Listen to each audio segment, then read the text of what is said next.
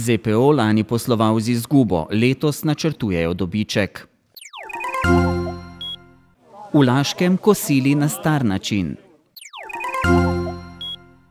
Prenovljen Tušev market vabi v novo vas. Celske nogometaše čaka prva tekma kvalifikacij za uvrstitev v Ligo Evropa.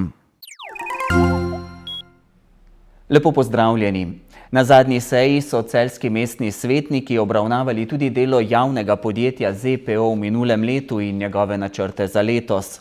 Lani je podjetje, ki med drugim upravlja s celsko kočo in kopališči, poslovalo z izgubo. A z omogočanjem novih aktivnosti in celoletnim turizmom na celski koči naj bi letošnje leto zaključili v zelenih številkah. Lani je izguba ZPO-ja znašala 65 tisoč evrov, pri čemer direktor Ivan Pfeiffer dodaja, da so zaradi spremenjenih vremenskih razmer tako po zimi kot poleti skupaj izgubili za vsaj 100 tisočakov prihodkov na celski koči in letnem bazenu. Izgubo bodo delno pokrili z dobički iz preteklega obdobja, za letos pa znova načrtujejo dobiček. V bistvu je družba bila ustanovljena strani mestne občine Celje za izvajanje gospodarskih javnih služb kot javni interes To pa pomeni, da mi v bistvu želimo in je pravilno, da poslujemo blizu ničle. Včasih se nam zgodi malo izpod, včasih nekaj iznad, odvisno tudi od pogojev v določenem konkretnem letu. Znova je bilo strani nekaterih svetnikov slišati očitke, da je bil projekt Celska koča, kakršnega si je občina zastavila pred leti in je vključeval izgradnjo hotela in ureditev smučišča, zgrešen. A na občini in v ZPO-ju poudarjajo, da bodo prav z novimi celoletnimi programi Celsko kočo še bolj približali lokalnim prebivalcem in turistom ter tako podjetju zagotovili likvidnost skozi celo leto. Mi si želimo imeti tak objekt, celjani so si ga vedno želeli stari ni imel več obratovalnega dovoljenja. Bilo se je potrebno odločiti, nadaljevati ali ne. E, Petriček e, je celski primer, ki se ni nadaljevalo nič in je vse propadlo. To sami vidite in to je bilo izhodišče tudi za celsko kočo. Vlagati zdaj, a se je preveč vlagalo. Od začetka smo štartali res samo na zimski turizem, zdaj pa vidimo, da to ni dovolj, ker so zime pre, preblage in da moramo z ostalimi stvarmi štartati. Večino nočitev v hotelu na celski koči ustvarijo tujci, ki pa si ob namestitvi želijo tudi ostale aktivnosti. V lanskem letu je bil izgrajen Postolovski park, eh, potem imamo v najemu kolesa, električna kolesa, steze, letos Rubajk, to pomeni gozdne vlake so izkoristili za izvedbo um, kolesarskih poti. Konec letošnjega augusta bomo organizirali prvi kolesarski, eh, ko bi rekel, kolesarsko uh, gorsko tekmo na celski koči. To se reče kup teh aktivnosti, s katerimi skušamo omogočiti eh, boljše delovanje. V načrtih imajo energetsko sanacijo, s katero bi prihranili nekaj denarja, pa tudi nove programe. Moramo poiskati cenejši vir, vse že vemo, že imamo vse pripravljen na palete, to se reče na les. Eh, tu predvsem čakamo še sredstva, ustrezen razpis, da lahko pridobimo tudi državna sredstva, to je prva večja stvar, drugače pa stalno vlagamo v ko bi rekel, v vsebino. Tudi eh, novo pot, eh, jamarsko pot, če lahko rečem, imamo dve jame gor. Tako naprej, mi želimo čim več vsebine, da, da bi šole gor hodile, da bi imele svoj, ko bi rekel, športni dan ali pa učni dan, kakor hočete, naroslovni dan in tudi drugi, ki pridejo, da če so že gor, kaj bojo delali, sam spijo oziroma jejo ali, ali pa grejo wellness dol. Eh, ali še imajo druge možnosti rekreacije. Kot je še povedal Pfeiffer, se bodo torej še naprej trudili za dobro vzdrževanje obstoječega stanja, praktično vz dodatno pridobljeni denar pa namenili za razširitev dejavnosti na področju turizma. V Zvezo Možnar, ki deluje v občini Laško, je združenih devet društev in dva javna zavoda. Vsako leto pripravijo več prikazov starih lokalnih šek in navad. Na letošnji, že 30. tradicionalni prireditvi so se na travniku pod Laškim gradom na star način lotili košnje in spravila sena. Travnik pod gradom v Laškem je za nekaj ur postal okno v preteklost, saj so mehanizacijo zamenjala ročna opravila. Ja, včasih je bila košnja zelo pomembno opravilo eh, tako za gospodarja in njegovo družino, kot tudi za vse, ki so prišli delati ker ni bilo le delo, upravljeno v enem dnevu, včasih je več dni trajalo, je bilo pa tudi druženje. In ob vseh velikih opravilih so se razvile tudi šege, ki so nastale ob zaključku ali pa tudi med samim počitkom. Košnja kot pomemben del in težaško opravilo je bila tako zastavljena, da so da je gospodar izbral, povabil ljudi, da so mu prišli pomagati. Lep primer sodelovanja vaške skupnosti, najprej pri enemu, drugemu, tretjemu in tako dalje. Kosci, dobri kosci so bili tudi cenjeni in pravijo, da se je za kosce odmerilo že pri kolinah. Dobro jih je bilo treba nahraniti, pa seveda tudi napojiti, da je kosa dobro delala. Ko je bila trava pokošena, je sledilo sušenje in nato spravilo sena. Vsak kmet premožen je imel vole, ali vole so bili včasih bolj tisti, ne pa krave, tudi konje, tisti najbolj premožni pa že konje, ne, da so si pomagali, da so v hribu spravili. Drugače pa kjer ni imel take stvari, goveje živine ali konjo, je pa to takole, ko ste zdajle videli tole ozadej, veje nasekal v hosti, ne, na seno naložil gor na veje in pol pač vlekel po hribi dol, da so v dolino spravili, ne. Druge, tako so se znajdli, da so spravili dolino, ne, drugače bi to dolgo trajalo, ne. Stare slovenske šege in navade pa so očarale tudi tujce. Tradition is incredible. And I love to see the families Tradicija je neverjetna. Rad vidim, kako se zbere družina in skupaj dela ter veselo preživlja skupni čas, kar je zelo dobro. Prav tako je pomembno, da delajo na ohranitvi tradicije. Zveza Možnar pa bo tradicijo obujala tudi na prihajajočem festivalu Pivo in cvetje. Šege bodo poleg stare ohceti in nedeljske povorke tri dni obujali v etno vasici. Ob 190-letnici pivovarne Laško bo letošnja tema Vaška gostilna. V Zvezi Možnar pa bodo poleg vaških šeg in navad v bližnji prihodnosti pričeli z raziskavo mestnih šeg.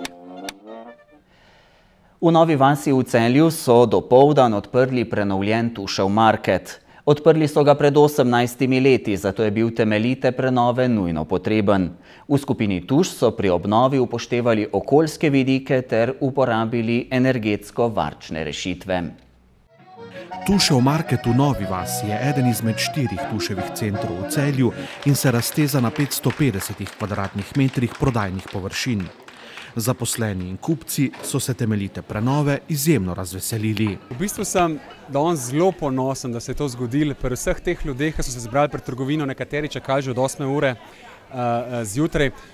Zakaj ta? Zato, ker je star bil 18 let in po 18 letih je bila potrebna temeljita prenova. In tukaj se je zgodila od spodaj navzgor, smo prenovili v bistvu vse, uporabili tudi nizkoenergetske elemente, se pravi, da gremo v neki trajnostni razvoj, pa tudi Celje in Nova vas sta si to zaslužila, definitivno.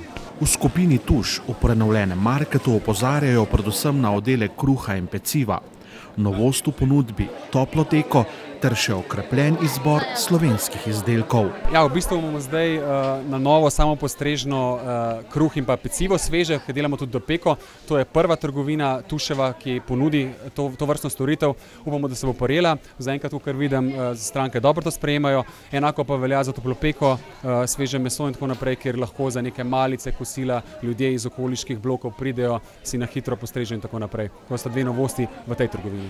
V Tušu bodo tudi v prihodnosti nadaljevali s prenovo svojih trgovskih centrov. Sigurno, da bomo šli z obnovami in renovacijami naprej, ampak v letošnjem letu taka večja ne, bodo pa manjše neki refreshi trgovin sigurno še bili, nekateri so že bili, nekateri pa še bodo, ja. Sicer pa so v skupini Tuš zadovoljni z letošnjim poslovanjem, saj so negativne trende iz preteklih let uspeli obrniti v pozitivno smer. Zdaj o konkretnih številkah jaz ne bi govoril, lahko pa rečem, da se je negativen trend, ki je bil zaslediti ga v preteklih letih ustavil in celo je v prvih šestih mesecih generiramo rast. Smo eden redkih trgovcev v Sloveniji, govorimo o klasičnih večjih, ki pač letos raste. Um, temu je pripomogel ogromno stvari. Um, ena stvar je pač sprememba politike, vodenja, um, fokus nazaj na osnovno dejavnost, to je trgovino, ogromno uh, komunikacije, ukvarjanje z našimi zaposlenimi, ki so naš kapital, z dobavitelji. Delamo ogromno na kar se tiče m, slovenske, slovenskih dobrot, to je naš novi projekt, kjer sodelujemo z slovenskimi dobavitelji, slovenskimi predevalci, kmeti. Tle tudi uh, iščemo kot slovenski trgovci, to je neka, neka naša obveza, da to delamo. Tako da m, ogromno novih stvari pripomoglo k temu, da se pač stranke zveste vračajo nazaj v tuš.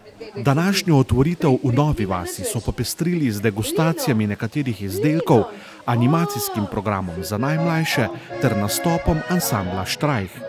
Prenovljen market v Novi vasi bo ob delovnikih odprt med 7.30 in 20. uro, ob sobotah od 7.30 do 17. ob nedeljah pa med 7.30 in 12. uro.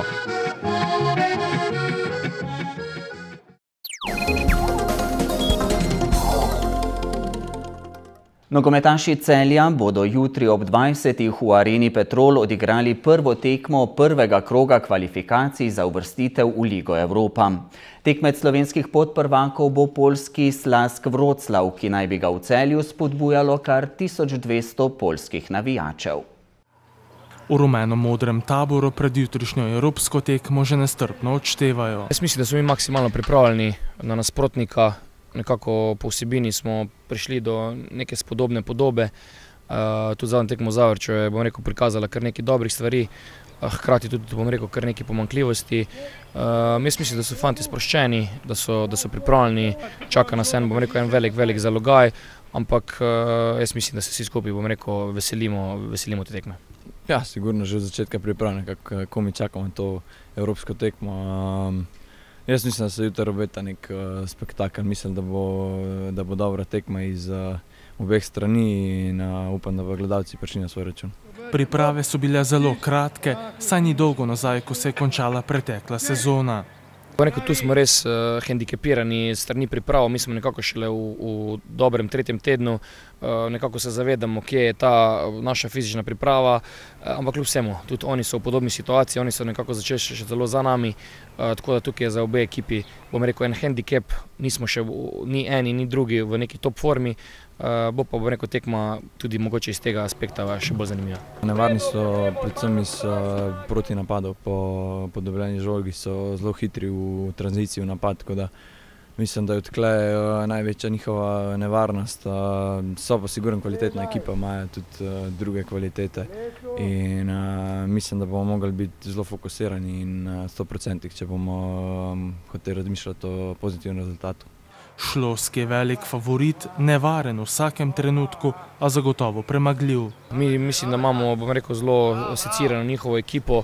Moram reči, da je zelo poletna ekipa, tekaško zelo sposobna, igra nekako v visokem presingu z zelo hitrimi prehodi, um, tudi nekako v skoku zelo, zelo čvrsti, suvereni. Imajo uh, pa po drugi strani nekaj, bom rekel, pomankljivosti, ki bomo pač mi poskušali obrniti v svoj prid. Uh, pričakujem, bom rekel, zelo dinamično tekmo, ker nekako so oni zelo um, podobno usmerjeni kot mi, se pravi, želijo igrati za gledalce, želijo biti, biti nekako všečni, uh, plus temu, da so še rezultatsko zelo uspešni, tako da jaz mislim, da bo eno, ena fantastična tekma. Mislim, da, je, da so bili oni ena od najslabših opcij v žrebu, tako da uh, sigurno so oni uh, favoriti, uh, mi nimamo kaj izgubiti, tako da pritisk favorita je zihar na njih. Uh, mi pa mislim, da imamo dosti kvalitete, da se jim lahko uh, zoprstavimo in da naredimo to prvo kolo zanimivo.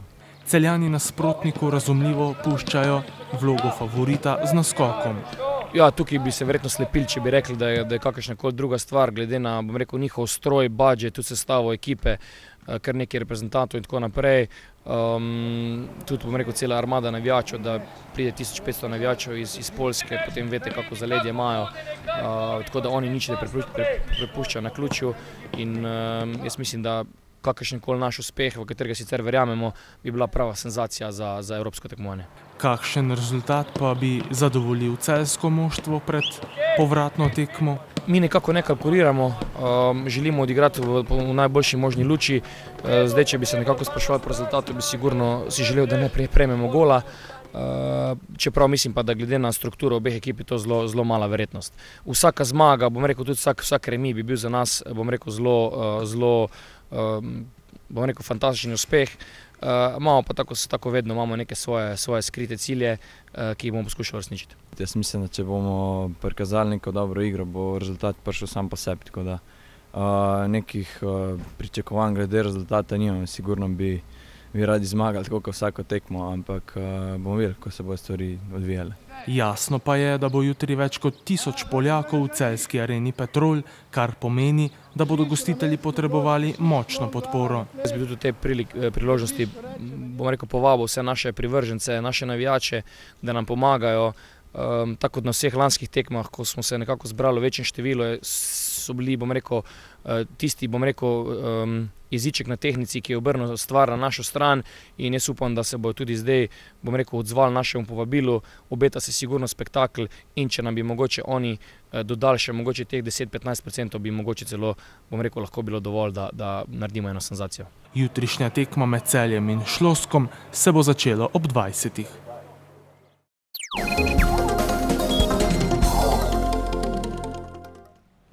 Jutri bo precej jasno, popovdne bo na severu možna kakšna osamljena nevihta. Najnižje jutranje temperature bodo od 12 do 18, najviše dnevne pa še kakšno stopinjo više od današnjih.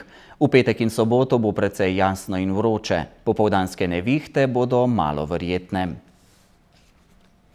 To je vse, kar smo vam pripravili za danes. Lep preostanek večera in nasvidenje.